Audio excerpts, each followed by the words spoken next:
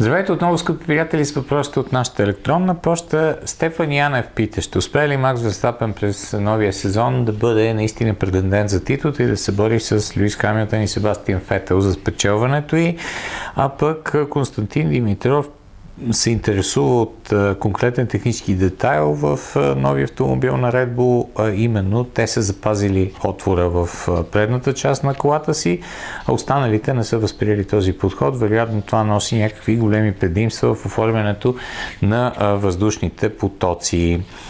Значи, наистина представянето на, на Red Bull през а, новия сезон в а, Формула 1 ще има ключово значение и за кариерата на Макс Верстапен, а бих казал изобщо и за участието на екипа в а, Формула 1 в бъдеще. Много зависи от представянето и на техния братски отбор от Торо Роса с, с задвижващите системи на, на Honda. Какви резултати ще постигне, за да видим как точно ще бъде избран пътя за участие на компанията в бъдеще в Формула 1.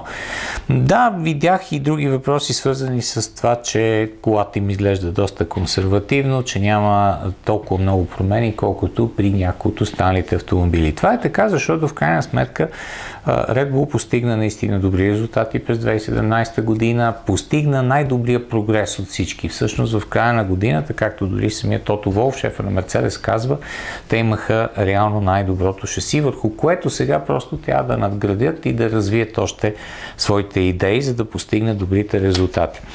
Като започнем от отвора на носа, за който стана дума в един от въпросите и стигнем до задната част на колата, има много прилики с миналогодишния автомобил. Що се отнася специално до тази конструкция, наистина оригинална, не използвана от останалите, Едриан Нюи използва този отвор с така няколко различни функции. От една страна, с отварянето на тази част в корпуса се намалява налягането в предната част, оформят се потоците по един по-различен начин, отколкото при останалите, където има някаква връхна точка.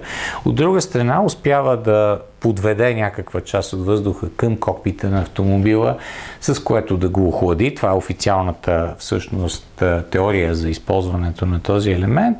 И според така една не съвсем доказана информация, вероятно част от този поток се смесва и с потока, който е в SDT. Знаете тази специфична конструкция под носа на автомобила се подвежда известно количество въздух, което се оформя през един S-образен канал и излиза тук, някъде, където е тройката, в обдухването на граничния слой на, на зоната около, около кокпита. Всички тези елементи сега при поставянето на системата HELO имат особено значение и различен начин на работа. При положение, че Red Bull имаха много силно наклонено шаси, този отвор в носа имаше наистина по-специфична роля, отколкото при останалите. Сега обаче мисля, че по-скоро всички негови функции са запазени. Примерно цялата предна част на колата, включително предното крило, колкото и условно да изглежда то в момента, защото то ще се промени.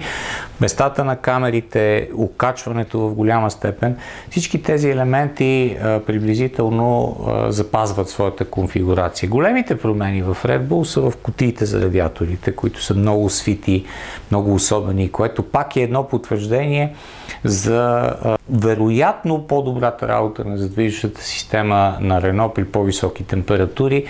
Да видим обаче наистина как точно ще се м- развият и взаимоотношенията между Red Bull и Renault. Знаете, Сирил Абитабул постави срок на отбора до май да реши дали ще остане с Renault или ще търси а, друг доставчик на, на задвижващи системи.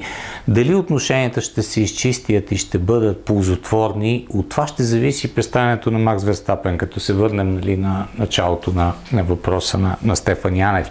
Значи, а, ако в а, отбора се работи хармонично и резултатите се постигат още в самото начало след а, излизането на колата на пистата, мисля, че а, Мак ще бъде в състояние да се бори с останалите. Ако обаче отново има една сериозна конфронтация, напрежение, това няма как да не се отрази и на и на отбора.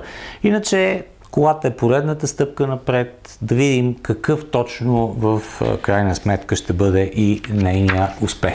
Благодаря за вниманието. Ще очакваме следващи ваши въпроси.